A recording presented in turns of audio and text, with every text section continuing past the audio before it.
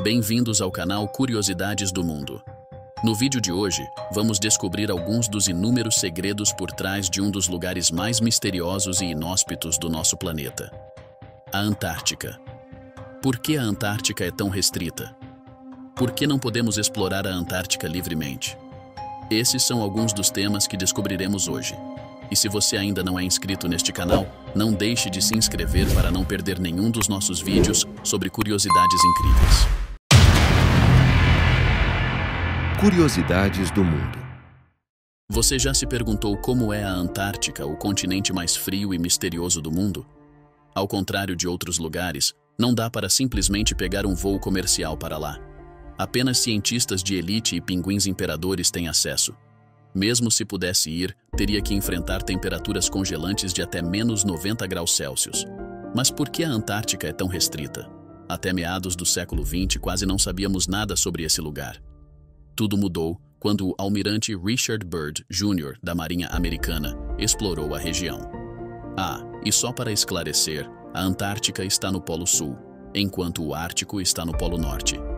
O almirante Richard Byrd é famoso por suas expedições pioneiras na Antártica, mas há muitos mitos e teorias conspiratórias em torno de suas descobertas. Byrd é acreditado como o primeiro a voar sobre o Polo Sul em 1929 uma realização significativa na exploração polar. Outro aspecto muito interessante é que, entre 1933 e 1935, durante a segunda expedição de Byrd à Antártica, ele estabeleceu a base chamada Little America e conduziu extensas pesquisas e mapeamentos do continente. Essas expedições ajudaram a aumentar significativamente o conhecimento geográfico da Antártica. Por fim, entre 1946 e 1947, Byrd liderou uma das maiores expedições à Antártica, a Operação High Jump, que envolveu mais de 4 mil homens, 13 navios e 23 aviões. A missão foi projetada para treinar pessoal militar e testar equipamentos em condições de frio extremo, além de consolidar a presença americana na região. Além de gelo e pinguins, o que mais Byrd encontrou? Muitos acreditam que ele descobriu uma civilização subterrânea chamada Agartha. Mas essa suposta civilização subterrânea é baseada principalmente em teorias da conspiração e não tem apoio em evidências sólidas. Não há documentos verificados ou relatos confiáveis que confirmem essa descoberta. É amplamente considerada como ficção e não é aceita pela comunidade científica. Em 1957 e 1958, vários países se uniram para proteger a Antártica, criando o Tratado da Antártica. O que isso significa? Cientistas podem explorar a Antártica para pesquisas, mas para nós, meros mortais, só é permitido visitar alguns pontos específicos, geralmente acessíveis por cruzeiros. E mesmo assim, esses pontos são minúsculos em comparação com o continente inteiro. Além disso, nenhuma nação pode reivindicar a Antártica. Isso porque sete países têm partes dela, especificamente Argentina, Austrália, Chile, França, Nova Zelândia, Noruega e Reino Unido. Mas e por que não podemos explorar a Antártica livremente? Primeiramente, para proteger o meio ambiente único do continente, repleto de espécies endêmicas, montanhas subterrâneas, cachoeiras de sangue e até vulcões que expelem ouro. Também é uma questão de segurança as temperaturas podem cair a menos 90 graus Celsius.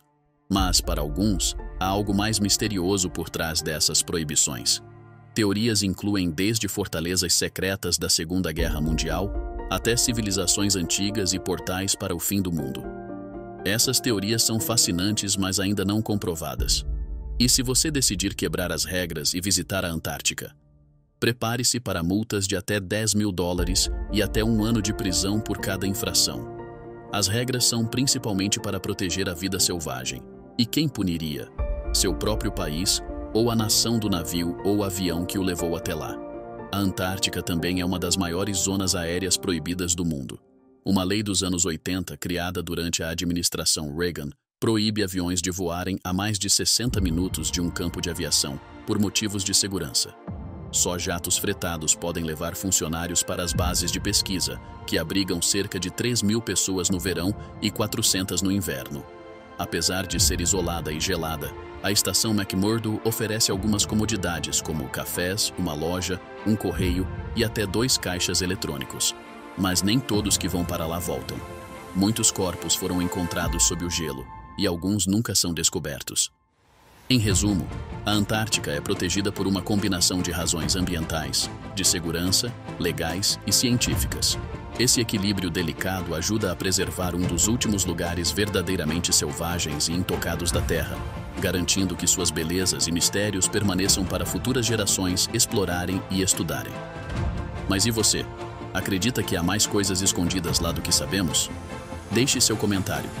Se você gostou deste vídeo e quer continuar explorando mistérios e fenômenos intrigantes, não se esqueça de se inscrever no nosso canal, curtir o vídeo e ativar o sininho de notificações para não perder nenhum dos nossos próximos vídeos. Obrigado por assistir e até a próxima.